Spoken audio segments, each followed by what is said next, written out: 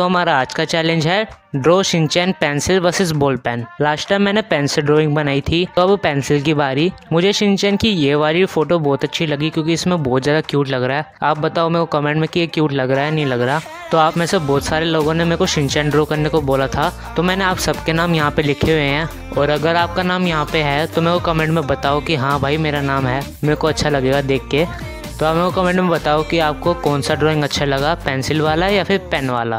तो thank you very much for watching this video आपसे मैं कल मिलता हूँ, तब तक के लिए बाय बाय